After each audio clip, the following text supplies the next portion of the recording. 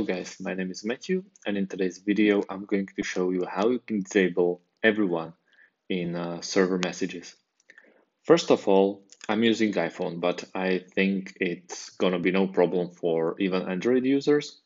So let's begin. On the left side of your screen, you have your server icon. We want to push it.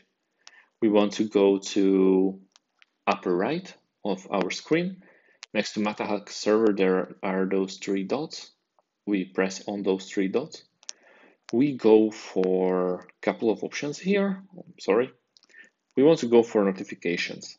And as you can see, you can mute your channel here for whatever or yeah, whatever time you like, or just notifications. But we are interested in the middle, suppress everyone and slash here nobody will ever disturb you with uh, their messages or their pop-up messages. So it's very useful if you want to stay calm and sane and not react to every single message you receive.